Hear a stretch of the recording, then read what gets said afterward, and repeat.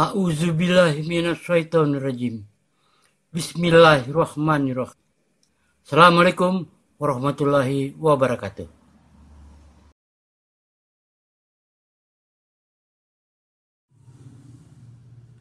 Sejarah pemberian tanda baca dan tajwid pada Al-Quran. Sebelumnya, Al-Quran ditulis dalam bahasa Arab yang belum ada tanda bacanya atau disebut sebagai tulisan Arab gundul. Tak bisa dibayangkan bagaimana sulitnya membaca Al-Quran. Andai hingga saat ini kalam ilahi itu masih ditulis dalam bahasa Arab yang belum ada tanda bacanya. Sebagaimana pada zaman Rasulullah Shallallahu Alaihi Wasallam dan Khulafaur Rasidin. Jangankan harakat patah, baris atas, kosrah, baris bawah, domah, baris depan, dan sukun tanda wakaf mati bentuk serta tanda titik koma tanda baca saja tidak ada. Tentu masih lebih mudah membaca tulisan Arab yang ada pada kitab kuning yang gundul tanpa harakat karena umat Islam masih bisa mengenali huruf-hurufnya berdasarkan bentuk dan tanda bacanya.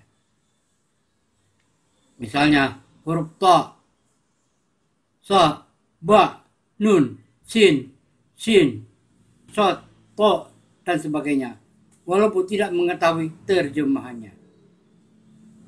Beruntunglah kekhawatiran-kekhawatiran ini cepat teratasi hingga umat Islam di seluruh dunia bisa mengenali dan lebih mudah dalam membaca Al-Quran.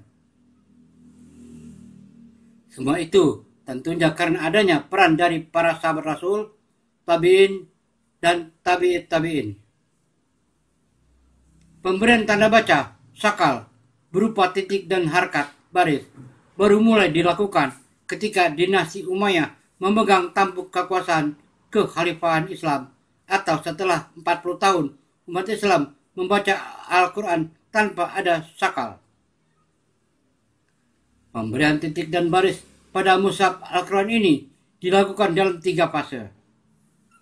Pertama, pada zaman Khalifah Muawiyah bin Abi Sofyan. Saat itu, Muawiyah menugaskan Abdul Aswad Ad-Daili untuk meletakkan tanda baca Irab pada tiap kalimat dalam bentuk titik untuk menghindari kesalahan membaca. Fase kedua, pada masa Abdul Malik bin Marwan 65 Hijriah, Khalifah kelima dinasti Umayyah itu menugaskan salah seorang gubernur pada masa itu Al-Hajjaj bin Yusuf untuk memberikan titik sebagai pembeda antara satu huruf dengan lainnya. Misalnya, rubah dengan satu titik di bawah, huruf ta dengan dua titik di atas, dan sa dengan tiga titik di atas. Pada masa itu, Al-Hajjaj minta bantuan kepada Nasar bin Askim dan Haj bin Yamar. Pada masa Khalifah Abdul Malik bin Marwan ini, wilayah kekuasaan Islam telah makin luas hingga sampai ke Eropa.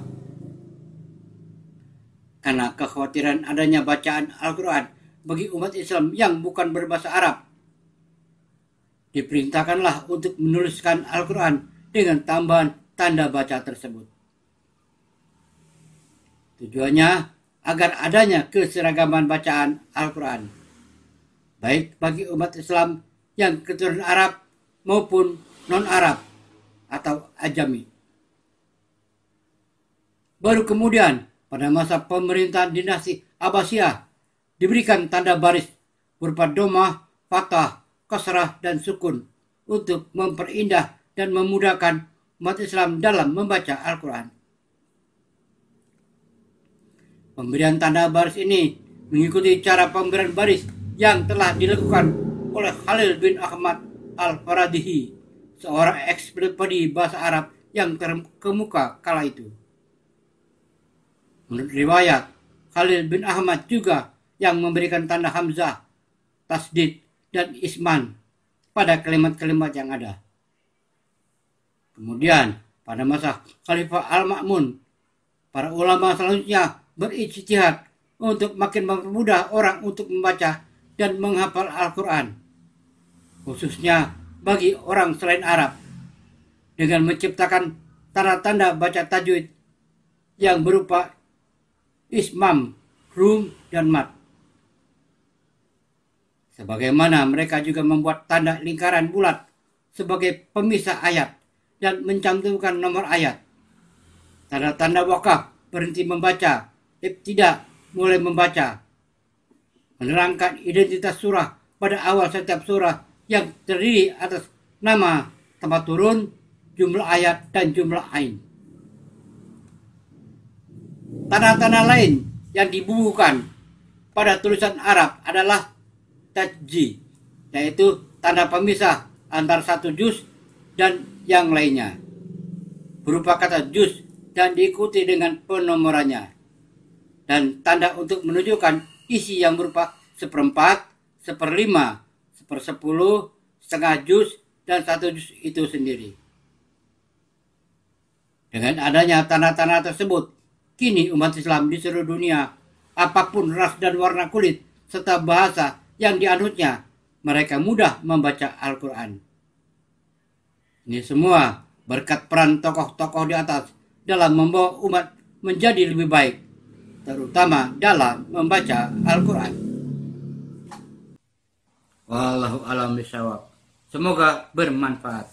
Wassalamualaikum warahmatullahi wabarakatuh.